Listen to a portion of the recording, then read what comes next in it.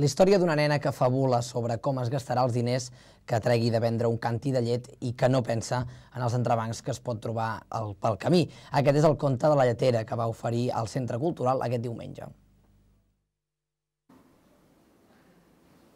Els nens que es van acostar al Centre Cultural van conèixer a la Joana, una nena de 6 anys, el dia més especial per a aquesta nova amiga, el dia del seu aniversari.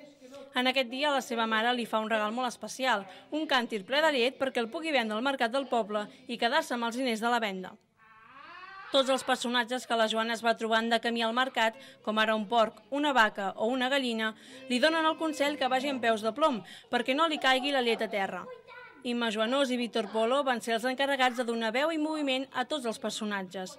Oriol Planes va ser el narrador d'aquesta història i també donava un toc de música a l'espectacle. Tots tres componen l'agrupació Xip Xap. Vinem a veure, vinem a veure,